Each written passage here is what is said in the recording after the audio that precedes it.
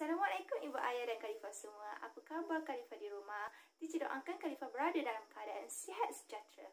Baiklah Ibu Ayah, hari ini hari Selasa, Teacher Hawa akan tunjukkan perkembangan Deria dan English. Tajuk hari ini, Teacher Hawa nak tunjukkan kepada Ibu Ayah bagaimana untuk membuat Snowy Sensory Bag. Bahan yang perlu kita ada Ibu Ayah ialah ziplock, ziplock, yang kedua, cotton ball. Okey, Ibu Ayah. Caranya sangat mudah Ibu Ayah iaitu hanya memasukkan cotton ball ke dalam ziplock. Okey, Teacher Hawa akan masukkan cotton ball ke dalam ziplock.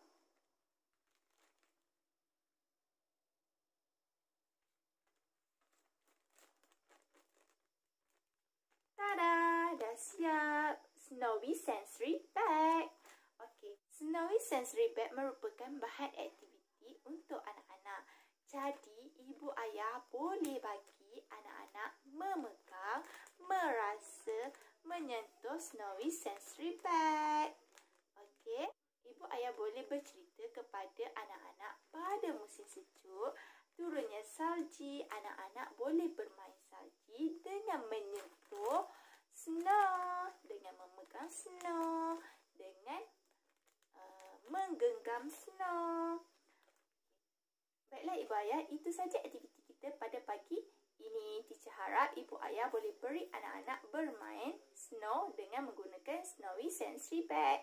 Okay, terima kasih.